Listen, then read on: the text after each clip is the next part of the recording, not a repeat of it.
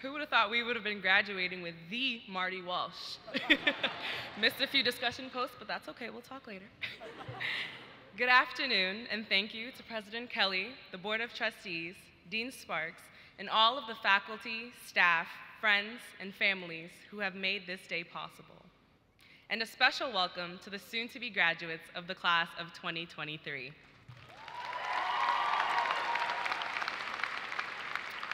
My name is Lindsay Dieudonne, and I have the honor of being your commencement speaker this afternoon.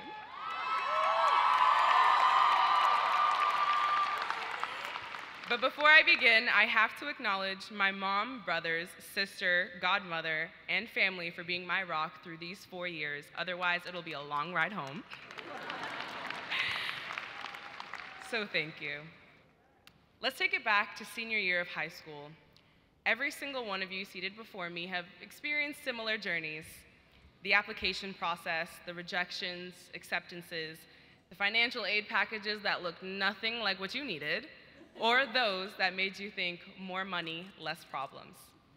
Think about how nervous or excited you were, how you were unsure of how you would be making your way throughout these next few years with or without the gaze of your parent or guardian, how you imagined the college life would be.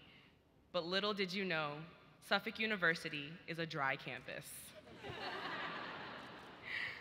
now think about today, how far you've come since those days, how many adversities and challenges you've overcome, the people along the way that have motivated and supported you, or the self motivation and determination you had to create for yourself to forge your own path and make your own way.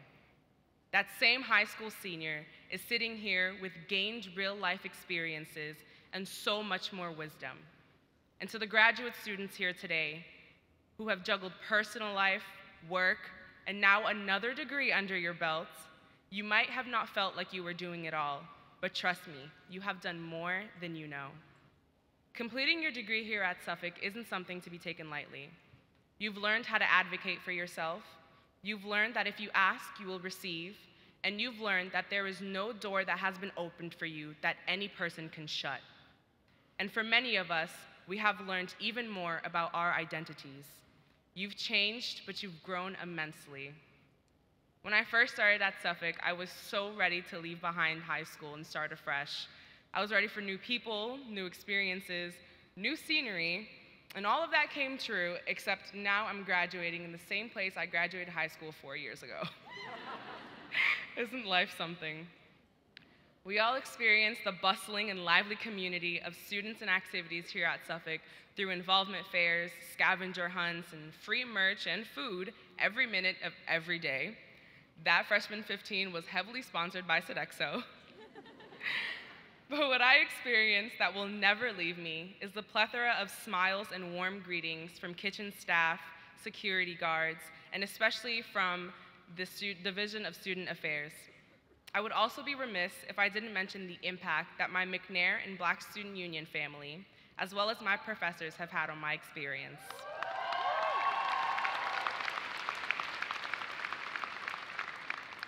It is my personal belief that without God and without the loving support of my family and friends, many of whom I made here at Suffolk, I would not be where I am today.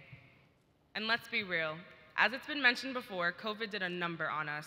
We attended more Zoom classes than in person classes, saw more masks and smizing than cheerful grins, and yet every step of the way, there was someone there to comfort us through that time, whether it be friend or faculty or staff member. That is the beauty of Suffolk.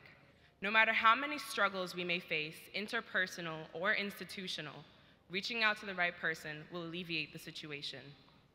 I may not have substantial advice for anyone moving forward from Suffolk today, but I do have this to say. Remember your story and be yourself loudly.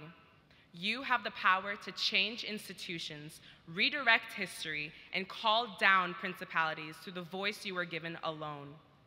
No one here is leaving Suffolk the way they came in, and I think that's what it means to make your way. Make your way to finding your voice, make your way to finding your identity, and eventually make your way into the world with everything you've learned and all the wisdom you've gained. Entering every single place a little brighter, and leaving it a little better. Class of 2023, I don't know about you all, but I'm ready to close this chapter and say, Mama, we made it. Congratulations. I love you all.